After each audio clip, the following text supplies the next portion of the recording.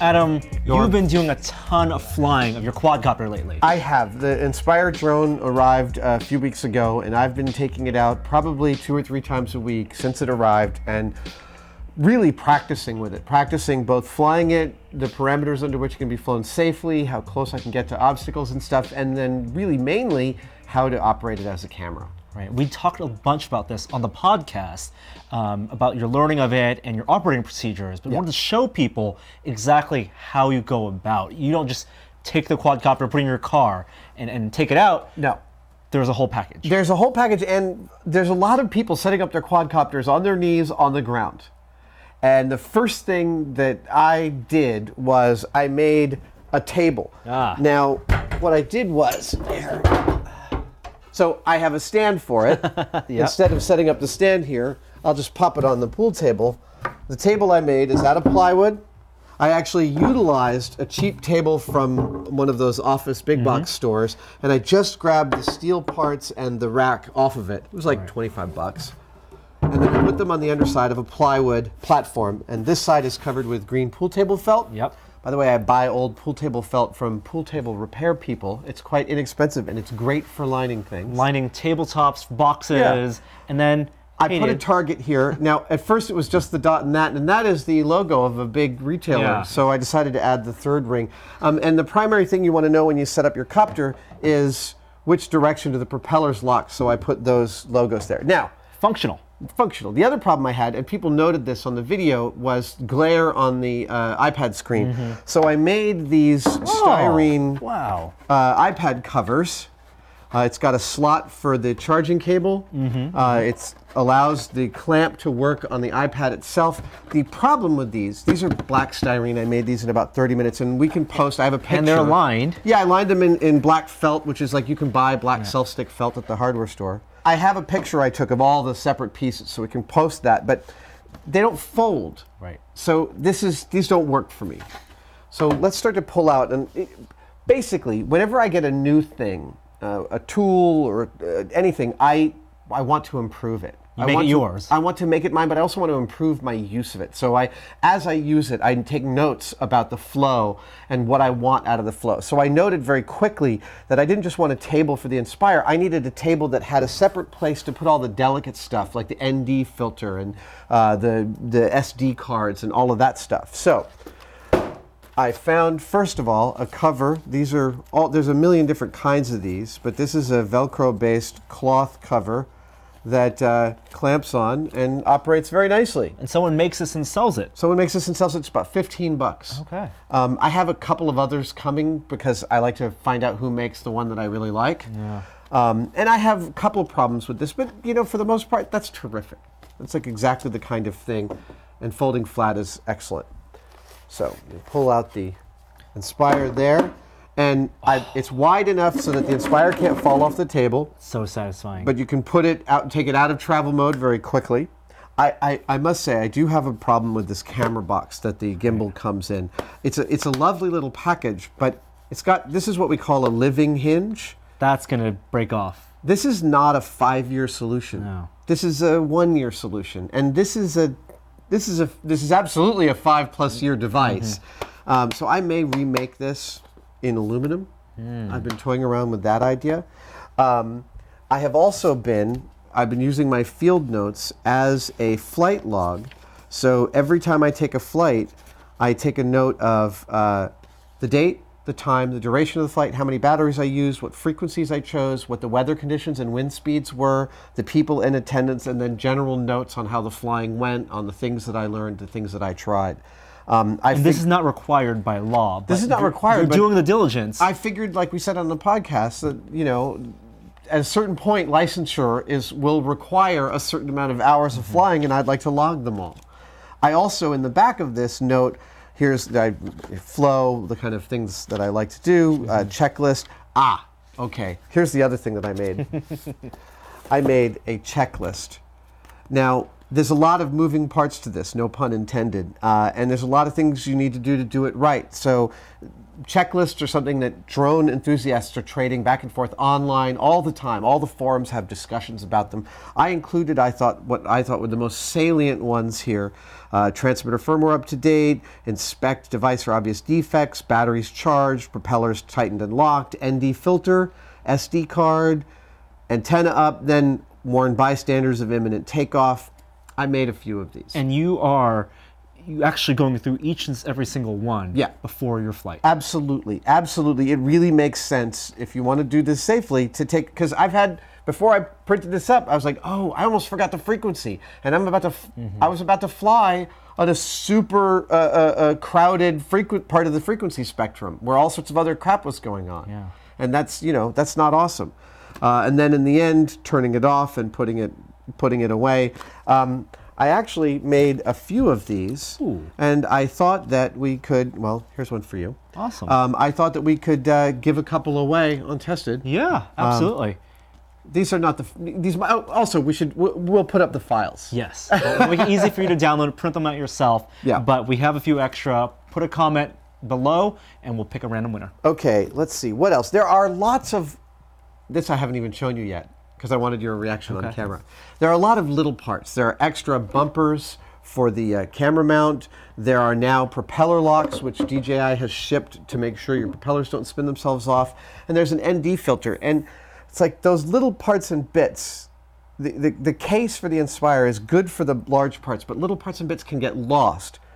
So I have five batteries, but I have six battery compartments. So I started by making an extra non-battery compartment that Uh, but fit it in looks the like battery a battery. Yes. Now this was prototype number one. I, I, I Let's show actually- people a battery. This morning I got a little more advanced with some vacuum form, and this one actually opens Wow. up SD extra SD cards in the side there. Then uh, ND filter is still something I have to figure out Mm-hmm. how to hold that safely. And then bumpers I actually put behind a sliding plastic door. I did this this morning. Uh, and here's the propeller locks. Okay, so let's show people a battery. And, Yeah. And because you don't need the full this hood of the battery. No, you don't. But that's But that's a pretty good one-to-one approximation. oh yeah, and it slips. there. Here, listen, it slips right in to the battery compartment. It gives great. me all that extra room for small stuff. I think I'm just saying, DJI, if you're listening, maybe you guys want to make one of these. Oh, you need to mark which side's the, yes, the you lid. need to say open this side. Open that right. side. That's right. Because you know you do want to be able to store the tiny stuff. Yes. Um, all right, so there's those. There's uh, there's the chargers. I have two chargers because of all the batteries. I need to be. I want to be able to charge them up quickly. And, And to be clear, the, uh, the the case you're taking out of is the case that it comes in. yes, Which is a pretty great travel case. I think this case is fantastic. It- it's, um, it's like Iron Man's briefcase. You just like set it down, put it in your car, and then deploy. and there's all are the props. propellers. The, the thing about this case that I love that it, so this, like you said, this is the case you get when you buy the Inspire. Um, it is as small as it could be, Mm-hmm. and it's soft and fits nicely in your car without scraping stuff up. Um, but I would not check this on a plane. Yeah. I, uh, I just don't see this holding up to the p- potential abuse it could get on a plane. But Jamie and I were contacted by GPC, who gave us each one of their beautiful uh, Inspire Pelican cases. Uh, let's see here. There we go. Oh. Wow. Yeah. That is heavy duty. It is really, really, this thing is absolutely gorgeous. I've got a couple of extra doodads in here. Um, this thing is really, really wonderful. Um, it holds everything. I just, I love watching this thing go down into it. Like. Now you have the target here, but you're Yeah. never gonna land it on this. I tried. I saw you. Yeah, you saw me. I got above it. It wasn't going to happen. not gonna I think if I wanted to land this on this, what I'd do is I'd put neodymium magnets on the feet of the Inspire. Ah. oh, that would be so cool. um, so everything slots really, really nicely into this case. Um, there's uh, that and Ah, I can't forget that. this. And right, this one goes here. Bam. Ta-da! The camera case, this is a little bit of a, yeah, that goes there. This comes in here. It's got a slot for an extra transmitter. It actually has room for all of these propellers, which I love. Um, and uh, extra cables and stuff. Mm-hmm. Uh, the ND filter, which is totally critical in, Yes, in bright, in bright daylight. daylight. You really, really need it. Um, is the one problematic thing. I actually they, they, they send it in a little padded like Mm. envelope, which uh, blew away on me. Oh. So that that can happen. Uh, and I I found DJI's uh, uh, harness just a little overly complex, so I bought this one on eBay for like five or six bucks. It's, RC flyers have known you Yeah. attach your transmitter to that so you're not wearing on your arm. Yeah, and it, it it's not even just wearing on your arms. Actually, when you're when you're on the this and you've got that, you can actually free up finger Mm-hmm. strength for actually manipulating.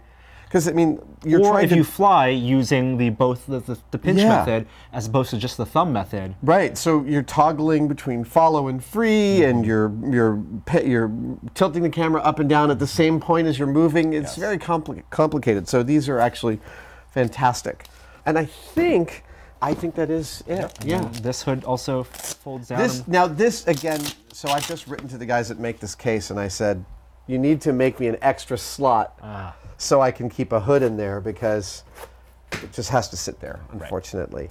Um, and you know, this is brand new. Like this product has only been selling for a month now, so they're they're still working these things out. I'm really pleased with this. I have to say, I've taken this out to the field most of the times that I've been doing it, and it's a fantastic base of operations for for keeping everything clean. lawn chair next. Yes. Yeah, right. Camping chair. I keep forgetting chair. my camping chair. Well, we'll be going on more flights with you, hopefully. I think people enjoyed it last time. Yes. Um, and talking about as you learn and as you gain experience with this and other quadcopters. You'll get to see how the footage improves and and best practices. yeah, exactly. Hope you guys enjoyed it. We'll see you next time. Thanks. Wait, wait, wait, wait, wait. Yep. One more thing. Wow, at least one more thing. At thing. least. uh, it's been like a week and a half since About we a week last and a half. I'm- shot what you just saw. Yeah. And you've already done more. I've been flying a lot, and so I, I, as I fly, I monitor my flow, and I kind of get to know how things are working. Um, and so, oh, so the first thing I did was, I made myself a field notes Ah! type flight log in which I have both a pre-flight, post-flight, and flight checklist. Um, and pages for logging every flight, duration, time, weather, conditions, who was there, what I did, how many batteries I used. This is just like for me. I gave you guys each one, but like really, uh, what I want to do is reach out to the field notes guys. Get them actually produced. yeah, because it's like a says here, prototype. completely borrowed after field Yeah. notes. So that was one thing. Fits in your back pocket. Now, then, uh, post the issue of the Inspire One, DJI released uh, prop locks for making sure the propellers don't spin off, and they're black, and that kind of bothered me because I'd put them on, and then I do some other stuff, and I'm like, did I put the prop locks on? It's a small thing, but I like quick visual clarity that things are as they should be. So I painted my prop locks bright yellow so that you can clearly see that they're on. It's a little industrial power loader. Exact. Yes. Yeah. I've actually debated whether to do bright orange or green, and yellow is really the only. Especially this thing has a, such of industrial feel. Um, but that's that's not the biggest thing I did this week. Um, I have purchased several batteries for this so that I can fly a lot, and when I come home. Charging them is 85 minutes a piece, and it's one of these sort of like go in, cook dinner, come back out, plug in another battery. So I invested, I bought some extra battery chargers, and I made ta-da, a gang charger for my Inspire batteries. Now it holds the, it holds my transmitter.